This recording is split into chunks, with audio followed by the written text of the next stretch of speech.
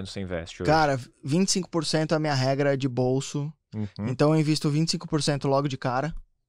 É, vivo com os outros 75%. Antes de ter meu filho, ainda sobrava um- uma graninha no final do mês que eu reaportava, né? Porque como eu uso corretora taxa zero, qualquer cacareco que sobra lá, 50, 100 reais, mil reais, você consegue aportar. Então antes eu investia 25%, gastava os outros 75% e se sobrasse alguma parte dos outros 75% eu fazia outro aporte. É, depois que meu filho nasceu, obrigado, tome. Isso é maravilhoso, cara. depois que meu filho nasceu, eu invisto 25% de cara e dou um jeito de viver com os outros 75%. Se você não fizer isso, cara, ainda mais com filho, não sobra dinheiro, assim, não sobra.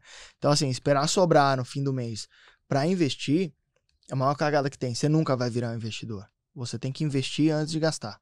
Uhum. E é muito bom porque você é, você sente que você fez o que é mais importante antes, ou seja, você pensou no, no futuro antes, você pensou numa eventualidade antes, então você já fez o que é mais importante antes.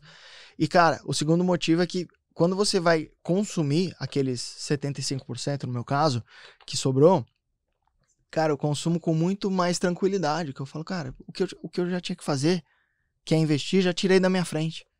Hoje eu posso, sei lá, comprar é, com o dinheiro que sobra, eu posso comprar qualquer coisa. E a pessoa que espera sobrar no fim do mês, ou não sobra nada, ou ela fica é, com aquelas mãos de vaquice, sabe? Tipo, ah, não, hoje eu não vou no restaurante, não vou comprar uma calça, não vou comprar um relógio. Cara, se você já fez o que tinha que ser feito antes, você pode comprar o que você quiser. Então, o consumo, que é um negócio bom, não, não, não Sim. crucifica o consumo, ele de fato traz muito conforto pra gente. É, o consumo, sendo que você já investiu antes, ele, ele fica um negócio muito mais gostoso, assim, de. Você consome com, com leveza. Você não se sente culpado pelo, por consumir as coisas, porque nem tudo que a gente consome são coisas que a gente precisa, né? E eu determinei 25%, mas tem gente que não consegue, né? É. Investir os 25%. Mas é importante você sempre pensar em termos percentuais. Que seja 5%. Ah, eu ganho um salário mínimo. Vou investir 50 reais por mês, que dá 5% mais ou menos. Vou, vou investir 5.